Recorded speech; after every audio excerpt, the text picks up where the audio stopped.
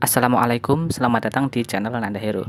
Di video kali ini saya akan bagikan tutorial tentang bagaimana cara menghilangkan notifikasi Planetary di HP Android.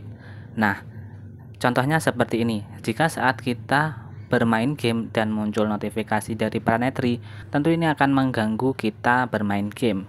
Nah, untuk menghilangkan notifikasi Planetary, caranya mudah sekali. Tonton video ini sampai selesai.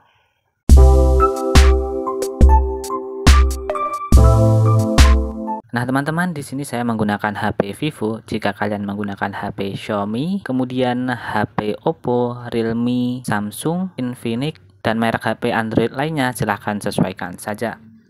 Langkah pertama di sini silahkan kalian cari aplikasi Planetary atau cari aplikasi SIM Toolkit.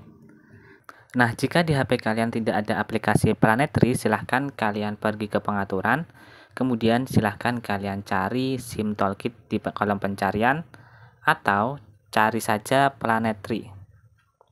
Jika ada, maka silahkan buka saja aplikasi Planetary. Kemudian silahkan pilih Cradle. Kemudian di sini silahkan kalian tap pada menu aktivasi.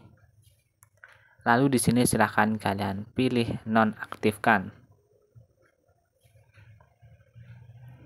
Nah, di sini silahkan kalian tekan tombol OK.